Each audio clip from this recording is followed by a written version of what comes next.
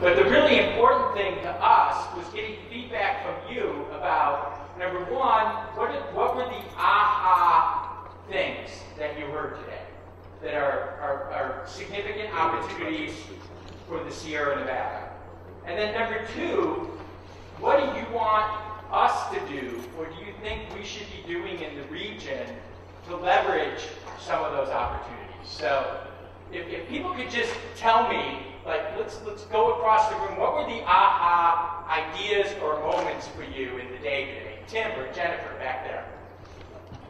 Give me an aha moment. Quickly off the top of my head, it was, it's not that hard to do. So it's easy. Yeah, well, and to build on that, you know, there are actually a lot of tools out there that, that are new and interesting, and you can like the cloud computing. If you really want to do some online, it may actually help a retail business to actually expand its customer base and to make it uh, more sustainable in the off-season and things like that. And the tools are now easy to use and not difficult. You don't have to Yeah, that was a real aha moment for me, how low the barriers have come to business development because of online. Well, one of the aha moments for me was people, everyone's been talking about the need for better regional network and communication tools. That we want to talk to each other and we want to learn from each other. And we love the idea that it's basically open source and free, right? We, we need the data, the information, and the ideas, and we're willing to share them back and forth. I loved Ari Durkel's example of the Entrepreneurs Fair linking capital to business opportunity and having it grow from the region. So one of the ideas I was thinking about is why can't we do that for ourselves in the Sierra Nevada?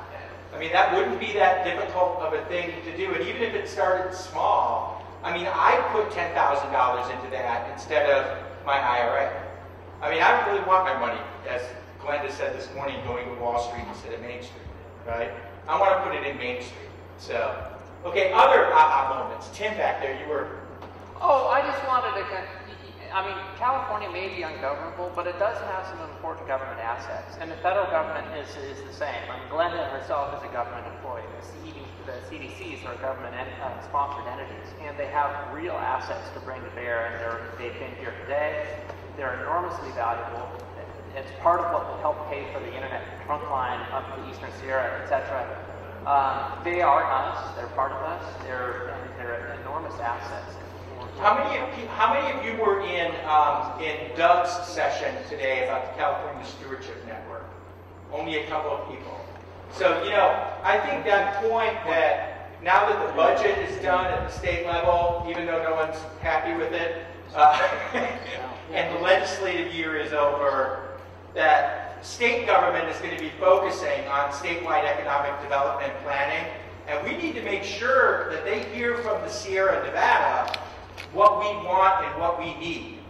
And there's no single entity in the Sierra doing that. That's something I think this group could serve to do. That is, you know, get the get the, the information in your communities to filter into that statewide process that Doug was talking about. It, for those of you that didn't attend the session, the state's strategy is likely to be to develop a series of regional economic development strategies based on input from the regions.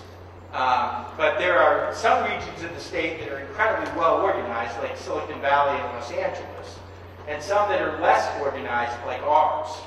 So somebody from the Sierra is going to need to is going to need to play that role of trying to herd the cats and get people talking about what the key what the key strategies are. Other moments, right here. Um, that um, small farms are doing well and actually growing faster than water counties. Yeah, isn't that amazing? Well, that goes back to your point that we're going to start thinking local inherently, you know, that it's getting embedded in our culture. But that's such good news to me. I, that, that's really important. Someone back there had their hand up? Over here. Back in the back. Um, the level at which the quality of the infrastructure affects the profitability of businesses and the, markets that they can actually access. Yeah.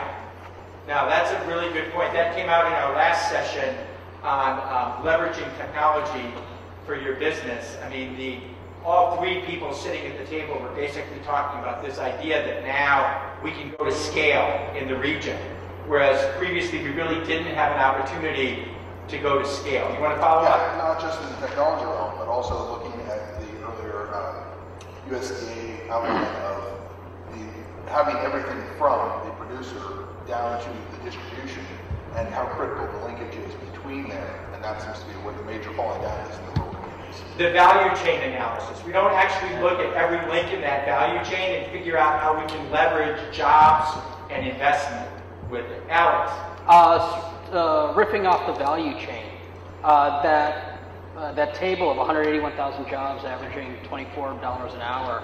I think the aha moment for me was comparing it to the redevelopment of the Concord Naval Weapons Station in in the Inner Bay area. The expected average wage of those 26,000 jobs from that redevelopment is 19 bucks an hour.